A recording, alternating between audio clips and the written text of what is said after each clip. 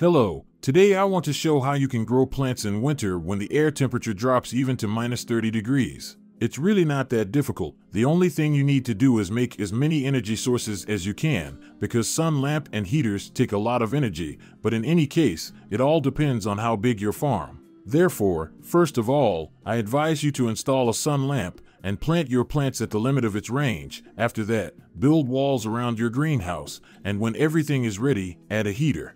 But keep in mind that the number of heaters depends on the size of the room and the air temperature. Two heaters are ideal for one sun lamp. And when we've done all that, our colonists can plant your plants very easily. I recommend planting the fastest growing because the simple solar flares can shut down your electronics long enough for the room to cool down and your plants to die. Rice is ideal here. But in order not to be afraid of solar flares, you can also use campfires and you can also use torches to help them. One campfire gives a little less heat than one heater. It is also worth paying attention to the geysers. But in my case, when it's minus 30 degrees outside, even a geyser can't provide enough heat for our plants, but still a geyser can help you save on heaters or campfires. As I said before, your greenhouse can be any size, it just depends on the amount of energy you can generate. Also, a little tip if your colonists don't want to build a ceiling because of the geyser, just go to the zone section and choose where to build a ceiling. And if the ceiling is not built due to the large size of the room,